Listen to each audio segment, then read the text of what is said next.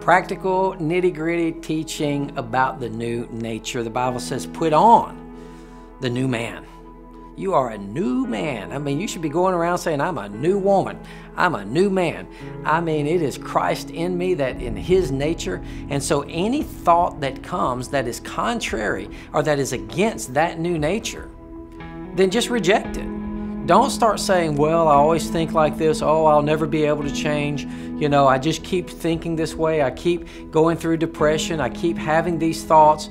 You know, I mean, let's just deal with one specific thought for a moment. What if you what if you're dealing with like lustful thoughts? Yeah, let's just get into some some some real practical stuff. What do you do with that? How do you handle that? You recognize that's not me. That's not who I am. Old things are passed away and so that's not me anymore.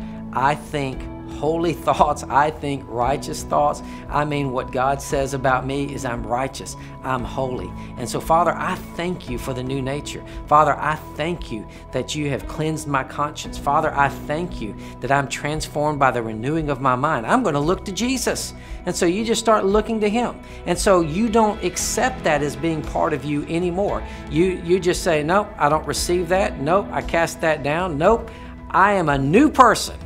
And that is me. That's life in 90.